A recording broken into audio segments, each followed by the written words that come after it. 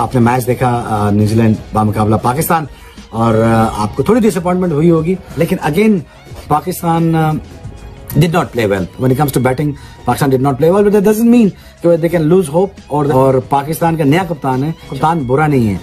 उसने बैटिंग अच्छी शुरू कर दी है।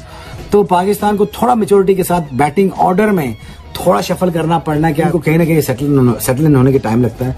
लेकिन ये कोई एक्सक्यूज नहीं है कि इंटरनेशनल मैच है, यहाँ Pakistan is being a very good side in T twenty but they have to prove it again again having said that मुझे लगता था कि पाकिस्तान के जो पहले तीन चार तीन चार जो बैट्समैन थे, अगर वो थोड़ा सेटल इन हो जाते, यहाँ पे बॉल स्पंजी बाउंस है, तेज निकल रहा है, और short of the length bowling कर रहे थे, और वहाँ पे फंसते हैं आप।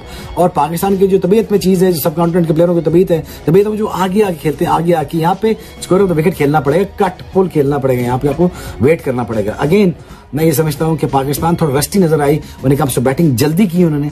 जल्दी ना करते, छह ओवर में चालीस भी लगा होता और विकेट इन हैंड्स होती तो हम ये दोस्तों कर भी सकते थे। लेकिन पाकिस्तान को होश करना पड़ेगा कि यहाँ पे उनका बेहतर बेहतर क्रिकेट खेलनी पड़ेगी। क्यों? कि अगर आप इसी स्टाइल से क्रिकेट खेलते रहो रन ना बनाए तो ऑब्वियस देखिए, नए बॉल पे विकेट्स नहीं मिल रही हैं। इसके बाद जो सेट बैट्समैन है, वो गेम फिनिश नहीं कर रहे हैं। बहुत लंबी टेल है स्पिन डिपार्टमेंट जो है, वो एब्सोल्युटली ज़ीरो है। और फिर उसके बाद फील्डिंग हमारी नरम गरम है। जो नए प्लेयर्स हैं, जो कि स्ट्राइक रेट की बेस के ऊपर इस टीम में आए हैं साइम अयूब हो जाए, आज़म खान हो जाए, इस तरह से हिट एंड मिस के बेस के ऊपर जो है, वो सारा कॉम्बिनेशन सफ़र करने के लिए नहीं आते।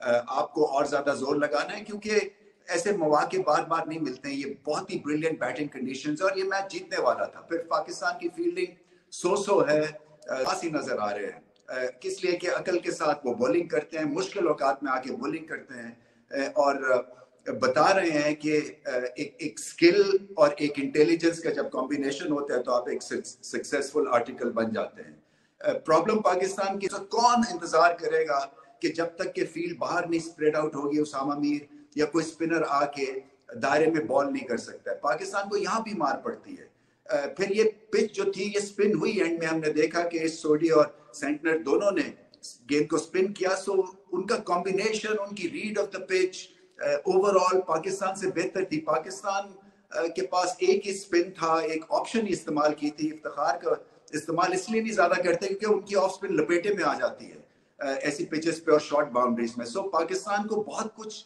चीज़ें ठीक करनी है। 16 छक्के फिन, एलन, और 137 रन की इनिंग खेल के गया भाई लड़का। और पाकिस्तान के बॉलर्स किसी को नहीं बख्शा। हर किसी की धुलाई हर किसी की खास करके जो हारिस रऊफ, जो रिटायरमेंट का सोच रहे हैं तो उसको बिल्कुल रिटायरमेंट का सोच सीरियस सोचना चाहिए। पहले ओवर में दो, आखिरी ओवर में सात। टोटल रन दिए साठ रन चार ओवरों में। आप सोच रहे होंगे कि ये क्या मिस्ट्री है कि पहले ओवर में दो और अपने आखिरी ओवर में, यानी चौथे ओवर में सात रन फिर भी टोटल चार ओवरों में साठ रन दिए आप खुद अंदाज़ा लगाएँ कि कैसी धुलाई हुई होगी उसकी। एंड पे पाकिस्तान ने थोड़े से रन बचा लिए हैं, वरना ये लग रहा था 250 का फटा 250 रन का। आप देखें 137 तो अकेला वो ही कर गया जिसमें 16 छक्के हैं।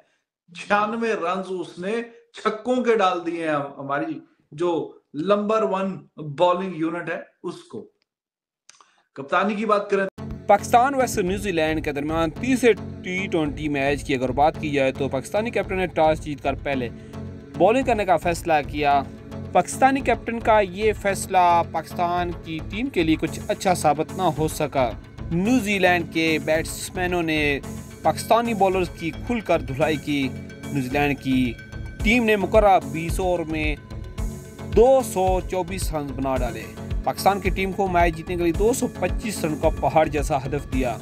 बात की जाए तो पाकिस्तान की बैटिंग की तो पाकिस्तान की बैटिंग भी टोटली फ्लॉप रही।